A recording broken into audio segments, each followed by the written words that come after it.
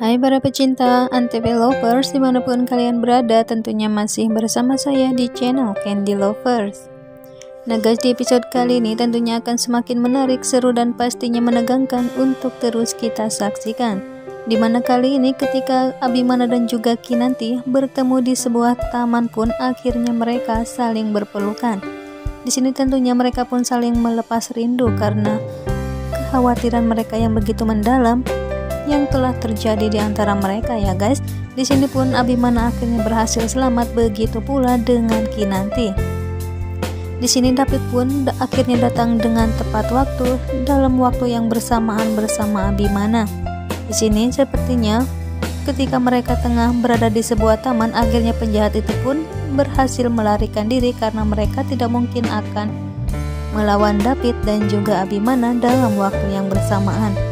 Namun sepertinya Abimana dan juga David pun mengetahui ketika kedua penjahat tersebut lari namun mereka tetap saja membiarkannya karena yang terpenting kali ini Abimana dan juga Kinan telah bertemu dan selamat dari penculikan tersebut.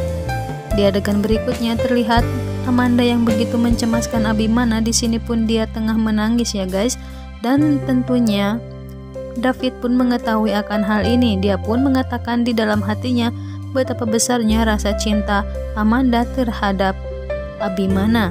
Dia pun mengatakan apakah dirinya bisa menjadi dan masuk ke dalam kehidupan Amanda sedangkan Amanda masih hatinya tersimpan rasa cinta untuk Abimana.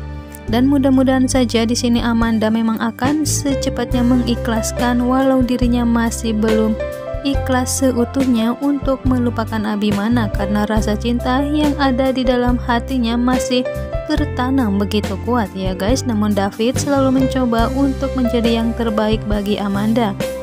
Di sini pun akhirnya David menyuapi Amanda ya guys karena David akan selalu melindungi Amanda.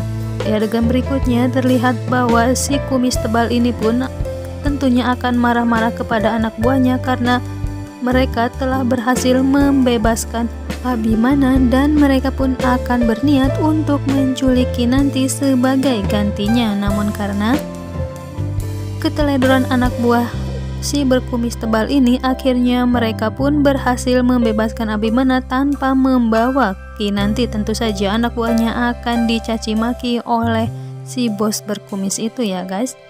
Dan di adegan berikutnya terlihat bahwa Abimana semakin kuat melakukan perlindungan untuk dirinya sendiri dengan menyewa beberapa bodyguard dan juga leadernya. Di sini Bimana pun tidak mungkin cukup untuk mengandalkan David saja karena kali ini memang Abimana dan juga Kinanti begitu terancam di rumahnya sehingga mereka pun membutuhkan perlindungan khusus dan perlindungan yang begitu ketat untuk menjaga keselamatan Kinan dan juga anggota keluarga Sudirja tentunya.